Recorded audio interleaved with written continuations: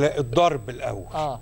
يعني آه الضرب ده أنا شخصيا شايف العقوبة البدنية مش مقياس. في ناس شافوا إن هم اتربوا عليها صحيح وفي أجيال وإحنا أجيال نعم. كتيرة. لكن إحنا من الأجيال اللي اتضربنا يا ياسر. طبعا يعني طبعا بدون شك. لكن أنا يعني في آه، يعني أخذ ورد هل ديت التربية صحيحة؟ ممكن يكون الأستاذ جيد جدا. لكن برضو أنا بشوف إن العقوبة البدنية آه، آه، بتعمل مشكلة حقيقية في مجتمع زي المجتمع المصري وبتخلق مجتمع شخص عنيف أو شخص بيتم آه، آه، يعني ايذاؤه بدنيا في كرامته وإهانته.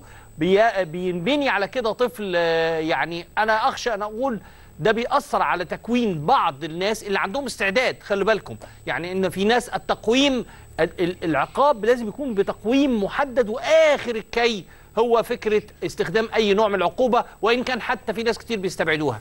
معانا طيب دلوقتي